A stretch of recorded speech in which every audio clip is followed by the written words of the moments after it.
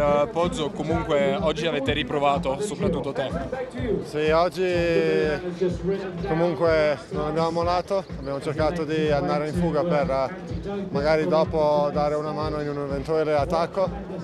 Eh, Pozzo oggi si è difeso bene, credo, quindi siamo contenti del nostro Giro d'Italia. La conclusione di questo giro quindi è positiva per te? Sì, per noi è positiva. Grazie.